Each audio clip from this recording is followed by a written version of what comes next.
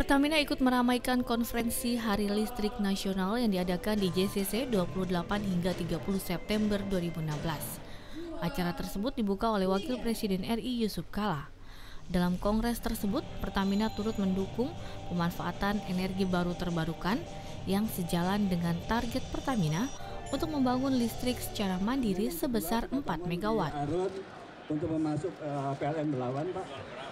Pertamina juga mendukung program kelistrikan dengan dengan apa ya dengan membantu menjamin ketahanan energi buat eh, listrik nasional dengan kita membangun infrastruktur gas, energi terbarukan dan lain-lain semuanya itu kami mendukung program eh, kelistrikan pemerintah yang 35 gigawatt.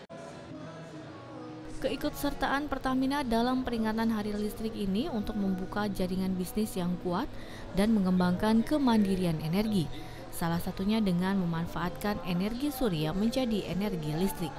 Haryati Sartika Ismail Saleh Pertamina TV.